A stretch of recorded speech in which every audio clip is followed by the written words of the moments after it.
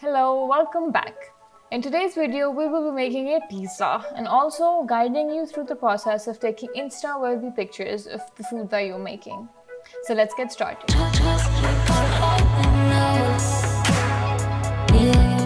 These are the things you will be needing for the dough. I'm mentioning the quantity in the description below. Acha, so let's see what the setting looks like in my phone camera. Right now, I feel there's too much happening so let me reassemble because I need to take my first picture of the process. I'm going to add a bit of green, a pop of color here and there. Let the camera screen help you in creating the perfect composition. Analyze the negative space, balance agree a picture. Does each corner of the image have equal weight? So you need to make sure that all four corners of the screen are very nicely filled. This will give a very cozy, soft look. You can even take your camera closer to the subject. In this case, our subject is the recipe. See how the image looks very comfy? You can there is very less empty space. I really like how on the ek side pe there is a big piala, so the opposite side has like three, four small cups. So this is called balance. If one corner has green, so the other has yellow.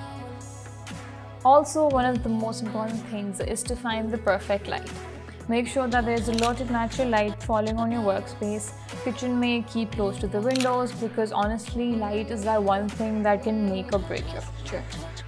According to the recipe, first you need to mix fresh yeast in 2 tablespoons warm water and mix until well dissolved.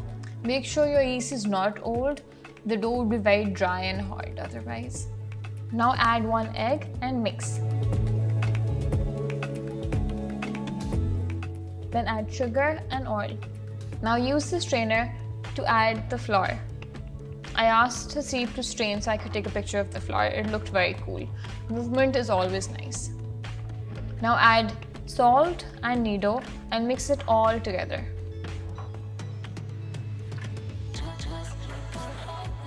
Oh, time to take a picture now. Emphasizing on the circles in this picture, it's always nice to find shapes around you because I think they make a great prop.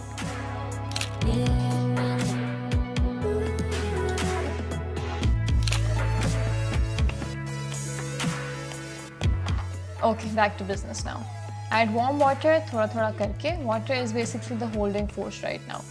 अब mix करते जाओ करते जाओ गूंजते जाओ घूमते जाओ Set a timer for 10 minutes and bus shuru ho jao.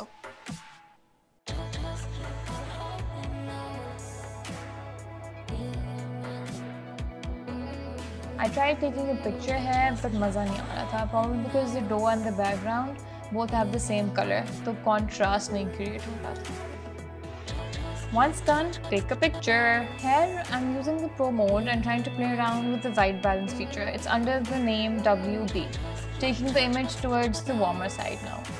For the composition, I kept it very simple and to the point, creating a small grid and using my hand to add some story.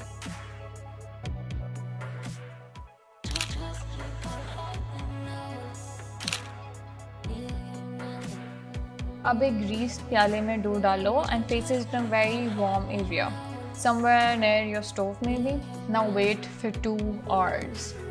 It is absolutely imperative that you keep the dough in a warm area for at least 2 hours. It needs to rest, the yeast needs to wake up.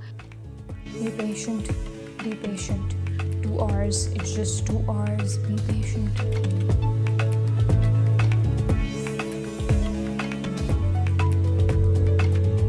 While we wait for the dough, let's get on to the sauce. So here are the ingredients. All you need to do is that fry some onion in around 2 tablespoon oil, then add all the other ingredients and once it comes to a boil, you are done. We still have a lot of time to kill, so let's take pictures in different compositions. In this case, the props are basically the ingredients that went into the sauce. I didn't have to add anything extra. It looks super organic and natural this way. But you also need to see, is there too much going on? Are there too many elements in the picture? Because main subject se nazar nahi You need to make sure that the viewer knows what to concentrate on. Also, props are secondary. No matter how beautiful the prop is, you need to make sure that subject ke upar pura focus raha hai. So you don't have to take prop pura ka pura at all times. You can always cut it in half. as in not literally but like frame में because the sauce was very red I added a bit of dhania on top ताकि थोड़ा contrast develop हो because otherwise it looked very bland for this composition I've used an S what you need to do is that you need to make an imaginary S on your workspace and assemble the props on that S. This way there would be a lot of flow to the image which would make it very soft. Hello there, beautiful. Guess who's here? Mr. Dough. I'm so sorry. It has risen, ladies and gentlemen. I'm sorry again. Okay, take the dough out now and gundo for like another 2-3 minutes.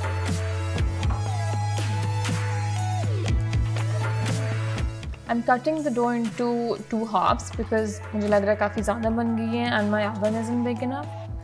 I'm going to use one half of it और जो दूसरा half I'm going to freeze it and use it later. Time to assemble now. I'm using the fork to poke holes into the dough ताकि bubbles ना बन जाएं. Add the sauce first. अच्छा, so I made a mistake. You need to assemble dough को pan पे रख के because it's super soft. मुश्किल होती है if you transfer it later. Also, I made the pizza into a circle, but later realized कि pan तो square है. Wow, Maham, you are a genius. Anyway, so add cheese on the sauce first, thodi si, add the veggies and the chicken and whatever you want to add and then cheese again. By adding cheese twice, of course it's yummier because cheese and also um, cheese makes sure that everything sticks together. I also add chili flakes and oregano on top.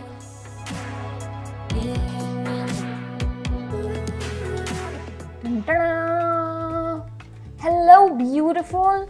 Now that the pizza has been made, finally, I changed the background. I added different props, props that weren't from the kitchen, and took pictures again. You can always take the subject outside of the kitchen once it's done and do a short photo shoot somewhere that's pretty because your hard work deserves that kind of attention.